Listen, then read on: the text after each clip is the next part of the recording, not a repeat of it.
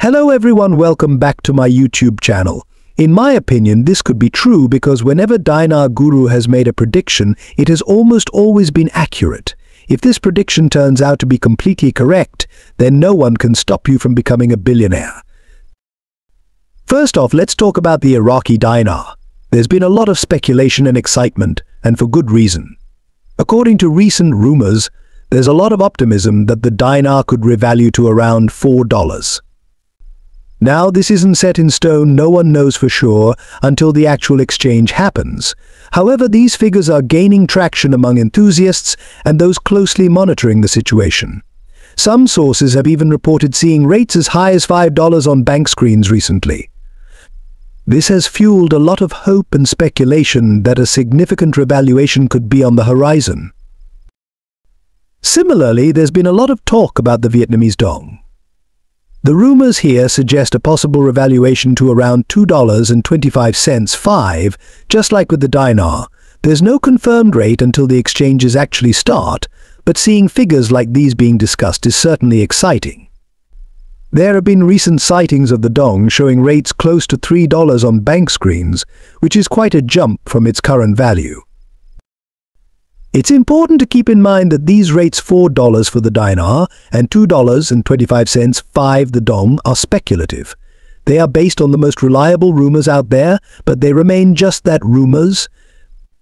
Until the official rates are announced and exchanges begin, we can't know for sure what the final numbers will be. However, these figures do give us a sense of what some informed sources believe could be possible. Now, Let's consider what this could mean for those holding these currencies. If these revaluation figures hold true, there could be significant financial gains for holders of the dinar and dong. For example, if you've been holding on to dinar or dong waiting for a potential revaluation, these rates would represent a substantial return on investment. It's no wonder there's so much anticipation and excitement in the air. But let's not get ahead of ourselves. While it's tempting to get carried away by the prospect of these potential rates, it's crucial to stay grounded. Currency revaluation is a complex process influenced by many factors, including economic policies, international relations, and market conditions. There's a lot that can change between now and the time of actual exchange, and nothing is guaranteed. In the meantime, it's wise to stay informed and cautious. Keep an eye on credible sources and updates regarding the revaluation process. Engaging with financial advisors or experts who have a deep understanding of the foreign exchange market can also provide valuable insights and help manage expectations. So what should you do if you're holding dinar or dong? The best advice is to remain patient and vigilant. Monitor the news and official updates closely and be prepared for various outcomes. Whether these rumored rates turn out to be accurate or not, being well-informed and ready for different scenarios will serve you well.